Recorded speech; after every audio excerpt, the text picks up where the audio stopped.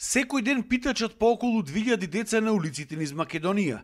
Тие се злоупотребувани од страна на организираната мафија, препродавачите и нивните родители, а 1500 деца со години не се однесени на лекар и нивното здравје е во лоша состојба.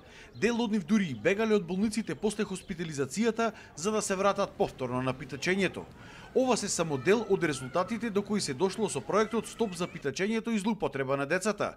На невладината организација Гради миднина, од каде велат дека ситуацијата во државава била алармантна. Во пијана состојба се децата, ги заспиват повеќе од 4 до 6, 8 и 10 сати, каде што со водка ги успивале децата, органите не реагираат да кажете го плачи детето да да си ја искаже маката, значи константно тие се успивани и а, многумина деца се плашат и бегат од биолошките родители присилно да ги терат да питачат во цела Македонија. Овие пари завршуваат кај организаторите, кај а, а, препродавачите, кај макроата, кај големата мафија, кај нивните главни шефови. Јас себе денеска баш и затекнав голема бројка на питач, дури децава ги претепуваат и ги тепат, значи присилно, насилно и да питачат, и да ги злоупотребуваат, и да им ги земат парите, што децата ниту еден денар, ниту една монета од 10 5, 2 или 50 денара децата не ги гледаат. Јовановиќ бара поголема ажурност на институциите,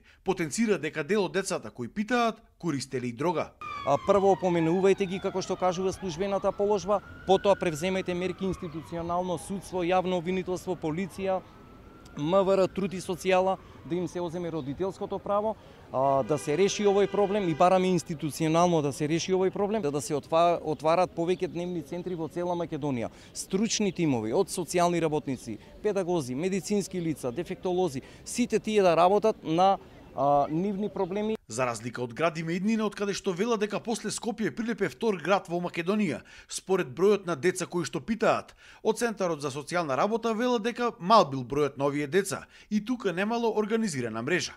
Како стручни тимови тие работеле на зајакнување на капацитетот на семејствата на овие деца, но сметаа дека оваа појава единствено ќе се сузбиела само ако граѓаните не им даваат пари на децата најдобриото, најдобрата превентивна мерка е да не се даваат пари на ваквите деца. Тоа ако граѓаните не им даваат пари, самата појава природно ќе исчезни или ќе се намали во општеството и нема подобра подобар лек, подобра превентива од тоа граѓаните да не паднат дека се тие пари за децата, тие сепак пари се за некој кој стои позади нив Проектот Стоп за питачењето и злоупотреба на децата ќе се реализирал во наредниот период во сите поголеми градови во Македонија.